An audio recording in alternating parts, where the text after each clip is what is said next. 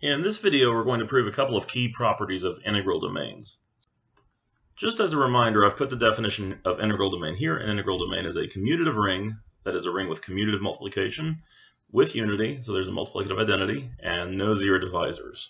So we're going to prove a couple of things. The first one is about cancellation.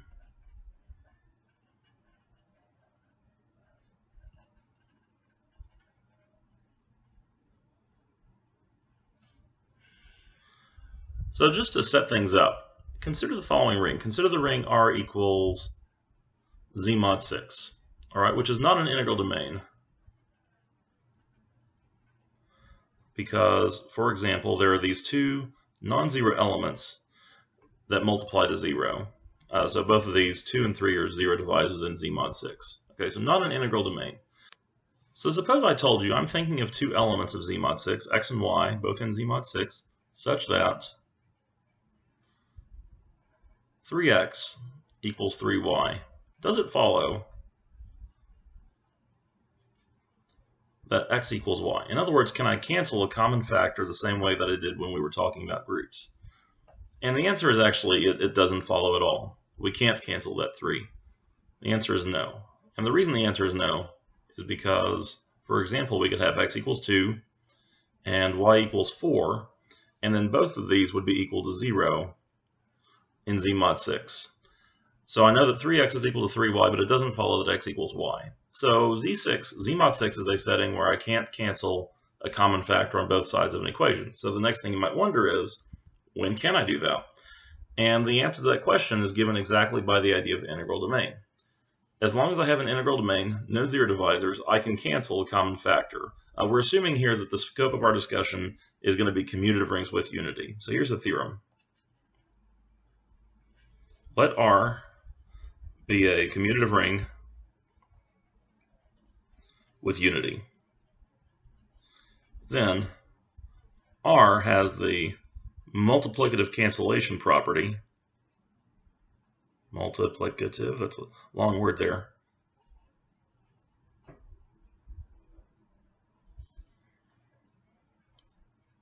If and only if R is an integral domain.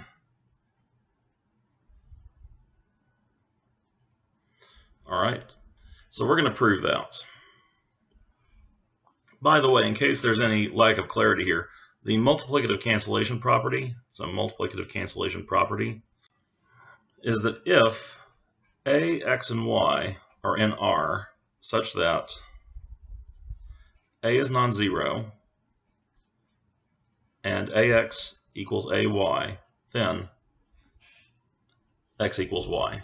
That's the multiplicative cancellation property. So we will show that integral domains satisfy this, and non-integral domains do not satisfy this. So here's the proof. First, let's suppose that we don't have an integral domain.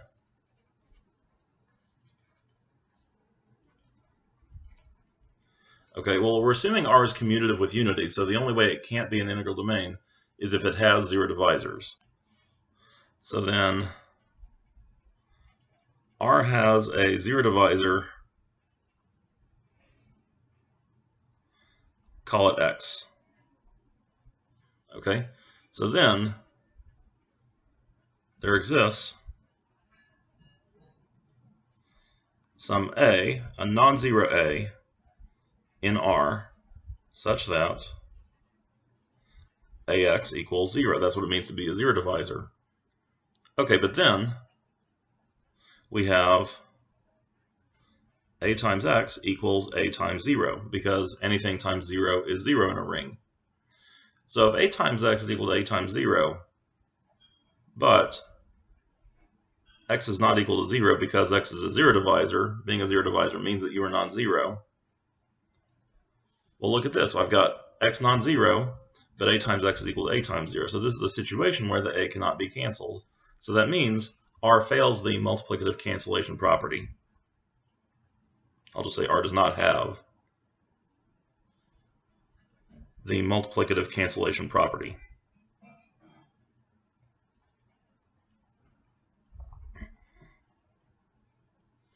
Okay, so that's one direction of the proof. And technically, that's the direction of the proof that says if R has the multiplicative cancellation property, then R has to be an integral domain. What we did was we proved the contrapositive of that. So that is the rightward direction. Now for the leftward direction. Suppose R is an integral domain. And we will prove R has the multiplicative cancellation property. Okay, so for that, let's assume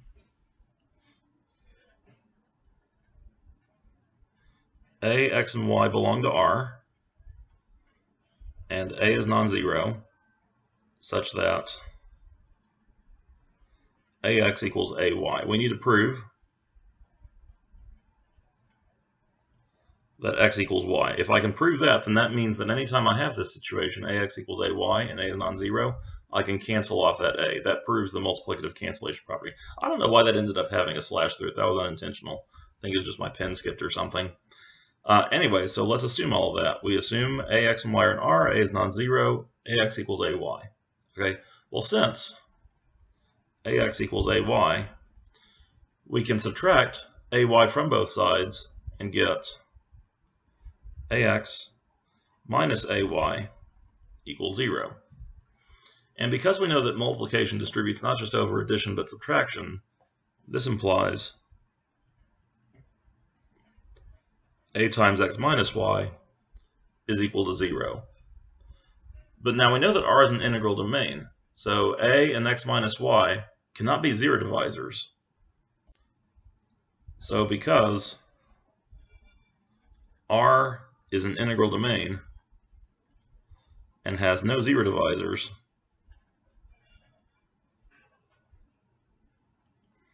we must have either a equal to 0, which is false because we assumed a was non-zero, or x minus y equals 0. So we assumed a is non-zero, so x minus y equals 0. And then we can add the y back to both sides and get x equals y, which is what we wanted. So ax equaling ay and a non-zero implies x equals y. Therefore, therefore, R has the multiplicative cancellation property. Okay, so in other words, integral domains are exactly those commutative rings with unity, which have the multiplicative cancellation property, which is pretty darn cool. Okay, so I'm going to minimize that, or pull that over here. So now recall that in a previous video, we proved that every field is an integral domain. So write that down. Every field is an integral domain. And in brief, the reason for that was if you have a field and you imagine or try to imagine two non-zero elements multiplying to zero, it's not going to work out because any non-zero element in a field has a multiplicative inverse. You can use that multiplicative inverse to knock off one of the elements and prove that the other element has to be zero. So a field can't have zero divisors uh, and therefore any field has to be an integral domain. But now we're going to prove something kind of like the converse, but not exactly the converse, because in, in one of the previous videos we showed that there are integral domains that are not fields. But under certain conditions, the converse actually surprisingly is true. So here's a theorem. Every finite integral domain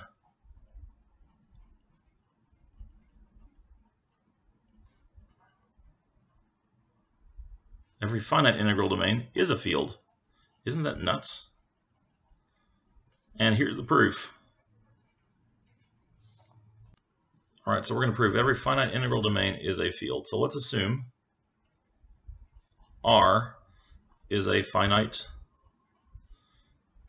integral domain. Okay, so it's commutative, it has unity.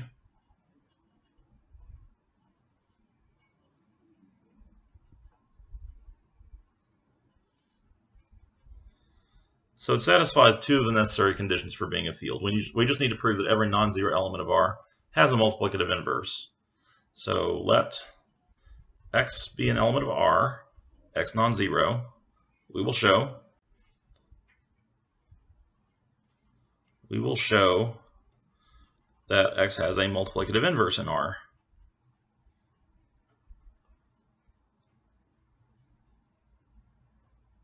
And the way we're going to do this is kind of clever. It's kind of cute, actually. So the way that we're going to do it is we're going to define a function f from R to itself as follows. f of y is going to equal x times y for every y in the ring. So in other words, we take every element of the ring, just multiply it on the left by x. Okay, and multiplying on the left, multiplying on the right, that distinction doesn't matter. R is commutative, but let's just make a decision. Now, just as an aside, uh, we're just defining a function from the ring to itself. We're not assuming this function has any special algebraic properties, really. We're not assuming it's a homomorphism. In fact, once we define ring homomorphisms, we will see that this usually isn't a homomorphism of rings. But it's actually going to be kind of useful for us anyway, even though it doesn't really have any special algebraic operation preserving properties. Okay, so here's what we're going to show. We're going to show f is 1 to 1. Why would we do that? Well, you'll see in a minute. Okay, and it actually turns out it's not too hard to show f is 1 to 1. Here's why f is 1 to 1. Let's assume that f of y1 equals f of y2 for some y1 and y2 in R. Okay? In other words, let, let y1 and y2 be elements of R such that f of y1 equals f of y2. Well then, by definition of what f is, that means xy1 equals xy2. But now wait, R is an integral domain. So it has the MCP, the multiplicative cancellation property. So by the MCP, that means y1 has to equal y2. and that's it. So if the outputs are the same from f, then the inputs have to be the same. So f is 1 to 1. Okay, now why did we bother with such a thing?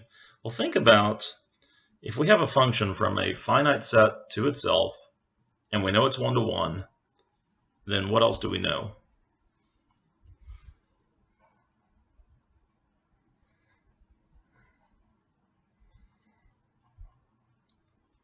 So since f is from R, a finite set to itself, f also has to be onto. Because it's mapping a finite number of things to the same finite number of things, so from here to here, and it's mapping in such a way that each element of the domain goes to a different element of the range. And if each element of the domain goes to a different element of the uh, codomain here, then that means that every element of the codomain has to get used as an output. Otherwise, I'd have to have two things going to the same output which, which would violate being one-to-one. -one. So f has to be surjective. And because f is onto,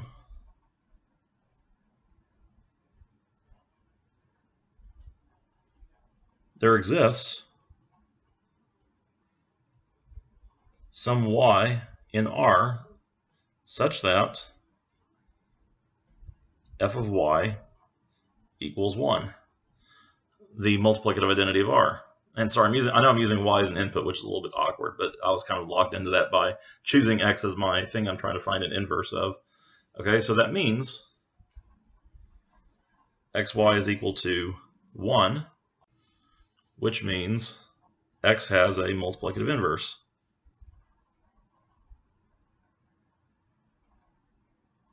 That deserves an exclamation mark. And that was true for every non-zero x. I didn't assume anything special about x except it being non-zero. So since every so since every non-zero x in R has a multiplicative inverse, and I also have those other necessary properties, commutativity and a multiplicative identity. So because that is true, R is a field. And then we are done. That deserves a QED. That's just such an elegant little proof. So we don't know that every integral domain is a field, but we do know that every finite integral domain is a field. And as a result, there are not all that many finite integral domains. uh, there are finite fields. There's a whole study of finite fields. It's pretty interesting, and we're not going to get into all of it in this course. But outside of that, outside of the finite fields, there aren't any other finite integral domains. This theorem proves it.